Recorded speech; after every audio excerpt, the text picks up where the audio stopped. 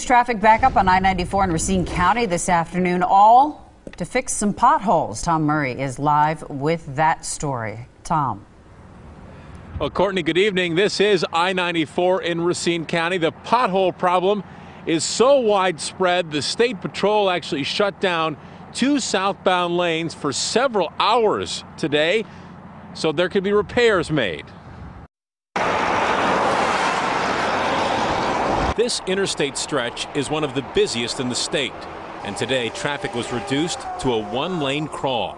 This January jam thanks to patchwork on that winter driving pest, potholes. There's quite a few of them. A lot of them are right in the tire track, so, um, but yeah, it was a mess coming here. As a truck driver, if you hit one of those potholes, what could it do to your rig?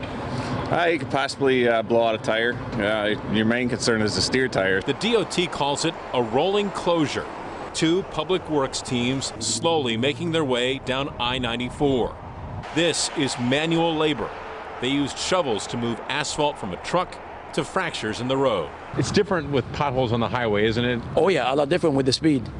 It's, it, it makes it makes uh, driving much much dangerous. This winter's extreme temperature swings are to blame a sub zero deep chill, and an above freezing warm up in a few days span.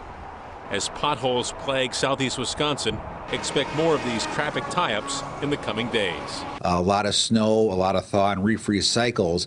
Um, potholes, whether they're on you know roads that are controlled by the Department of Transportation or whether they're your local streets, certainly you're going to find uh, probably a higher number of potholes, uh, certainly a lot more than you would have seen last year. And I'm told the same guys on the asphalt crew, asphalt crew also work on the snow plows. So you can imagine this has been a very busy winter with a lot of overtime for them. Live tonight in Racine County along I-94, Tom Murray, today's TMJ4. Yeah, and that could continue for a couple more months. Thanks a lot, Tom.